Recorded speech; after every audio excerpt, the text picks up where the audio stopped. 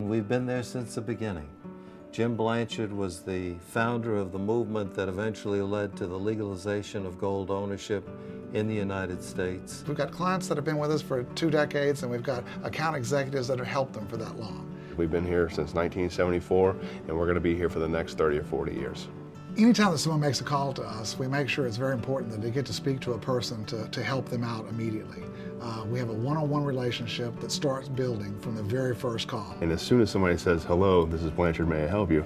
That's the person that you're going to speak to for your entire uh, relationship with Blanchard. The first time people call in to Blanchard, they do want to be educated. They want to know about the product, they want to understand the product, and um, really see how quickly they can get the product in their hands. So we make it as simple as possible. We're going to figure out what they need, put them in the right products, put them in the right investments, and, and, and watch their portfolios grow.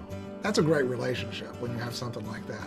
It makes you feel good. It makes you feel comfortable about doing, doing business with somebody like us.